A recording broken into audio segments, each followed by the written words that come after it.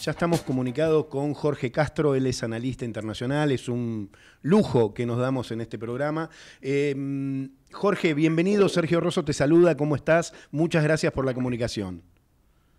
¿Qué tal? ¿Cómo están ustedes? Encantado. Bueno, muchas gracias, Jorge. Teníamos muchas ganas de hablar con vos y que nos ayudes a entender lo que está pasando en Israel. Eh, la guerra se disputa por primera vez eh, esta es mi opinión, en territorio israelí, lo que convierte el ataque del grupo Hamas eh, en la mayor amenaza que recibió Estado de Israel en su historia. ¿Esto es así? ¿Compartís? Absolutamente, esta, tal como lo señalás, esta es la mayor amenaza que ha recibido Estados, eh, el Estado de Israel en, lo que se refiere a el hecho de que los combates están ocurriendo dentro de su territorio mm. desde la fundación del Estado en 1948. Eh, hay que tomar en cuenta que lo que ha eh, realizado de manera extremadamente exitosa eh, jamás ha sido una ruptura, una muestra del fracaso de la inteligencia israelí y del sistema de defensa de Israel. y esta, esto es lo que significa que en este momento el peligro mayor que enfrenta el Estado de Israel es el hecho de que se ha perdido ha perdido su capacidad de disuasión, no solo frente a Hamas, sino también frente al conjunto de los países de la región. En una región que es extremadamente volátil, como es Medio Oriente, y en la que todo signo de debilidad es un llamado a la acción de los enemigos actuales o virtuales. En este sentido, es que lo que está en marcha en este momento, a partir de la invasión del sábado pasado, es eh, una eh, operación de carácter terrestre de las fuerzas de defensa israelíes destinada a destruir la totalidad de la estructura político-militar de Hamas y de la Jihad Islámica situada dentro de la franja de Gaza. Esto es lo que va a comenzar en las próximas horas o en los próximos días mm. y está precedido por un gigantesco bombardeo de la Fuerza Aérea eh, israelí que está causando enormes daños dentro de la franja de Gaza y como preludio a la invasión a la, invasión de carácter terrestre encabezada por los blindados de Israel que va a ocurrir en la franja de Gaza y destinada a destruir a Hamas y a la Jihad Islámica. Bien, Jorge, eh, ¿Qué hay de cierto que, em, digamos, que, los rehenes eh, israelíes están ahí eh, escondidos? ¿Qué sabes? Está en, los medios de comunicación del mundo entero, eh, a través de videos presentados por el propio Hamas, el hecho de que ellos han matado y secuestrado a un número de casi 900 integrantes de la población civil israelí, entre ellos mujeres y niños, y ancianos y que los tienen en su poder dentro del territorio de la franja de Gaza y han anunciado que en el caso de persistir la, la campaña de bombardeos aéreos de la Fuerza Aérea Israelí, van a, ejecutar a estos eh, rehenes uno por uno en forma pública para dar una lección al Estado de Israel y a la opinión pública occidental. Eh, estamos hablando con Jorge Castro, analista internacional. Jorge, te pregunto, eh, ¿había algún antecedente, había algún contexto de tensión especial previo a este ataque? Eh, ¿Se veía venir esto? ¿Qué, nos podés contar?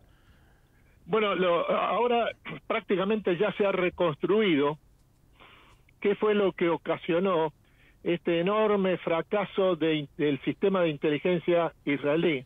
Mm.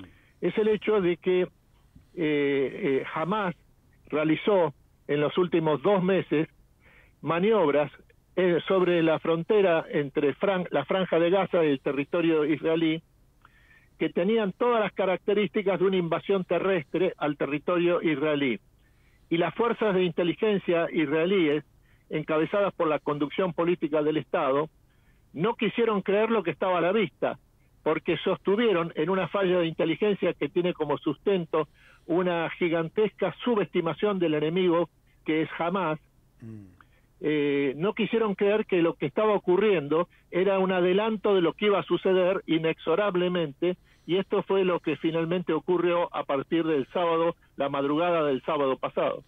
Es tremendo todo lo que nos estás contando. Eh, hay un, eh, a ver, según tu, mirada, según tu saber, ¿hay un estado de debilidad del gobierno israelí o del primer ministro eh, Netanyahu que favoreció a estos grupos islámicos para planificar y lanzar este ataque masivo?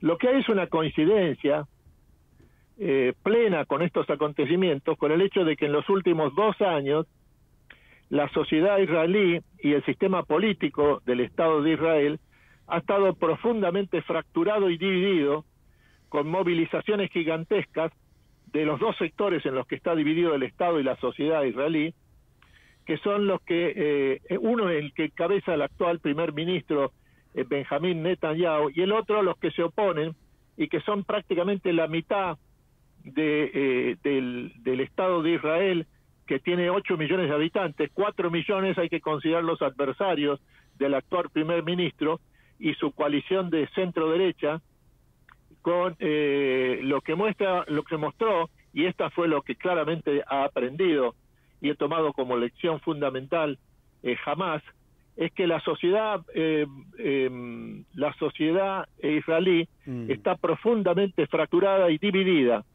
pero lo que también hay que tomar en cuenta que una vez más lo que ha demostrado Israel es que, es que ante una situación de extrema crisis como la actual, la, la sociedad israelí vuelve a unirse con un fervor y una capacidad de respuesta verdaderamente extraordinario.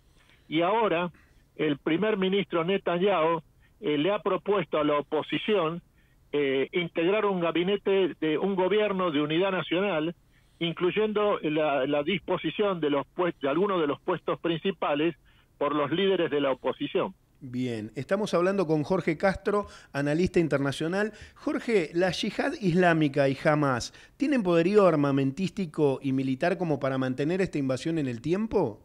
¿Qué crees vos? Bueno, evidentemente han, han dispuesto de un arsenal bélico muy superior a lo que se preveía. Bien. Y esto ha sido proveído fundamentalmente eh, eh, por la República Islámica de Irán, Ah, que es el sustento logístico, estratégico y político tanto de Hamas en la franja de Gaza como de, eh, de Hezbollah, que es la organización político y militar de la comunidad chiita libanesa en, el territorio del Líbano. Eh, hay que sumarle a esto esto que la, que tiene la República Islámica de Irán, hay que sumarle también el hecho de que ah, un aliado de Irán en la región es el actual gobierno sirio, mm. que ah, ha dado término ya a la guerra civil que tu, mantuvo durante casi 10 años y lo ha hecho con el respaldo militante tanto de Irán como de Hamas y de la propia Hezbollah de, eh, ubicada en el Líbano. Bien. Eh, Argentina ha reforzado la seguridad de los edificios de la comunidad judía. ¿Existe algún riesgo real, según tu mirada? Hay, la Argentina es el único país de América Latina que tiene antecedente directo de haber sufrido dos atentados terroristas en su propio territorio como consecuencia del conflicto de Medio Oriente. Uno fue la destrucción de la Embajada de Israel y la otra fue la destrucción del edificio y de, los integrantes de, la AMIA, esto es la mutual de la comunidad judía argentina.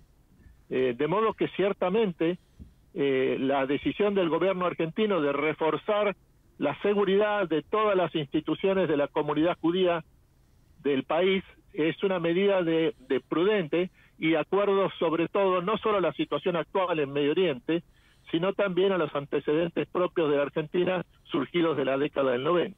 Jorge, muchísimas gracias por tu análisis, muchísimas gracias por, por ayudarnos a entender esta locura que está sucediendo en Israel.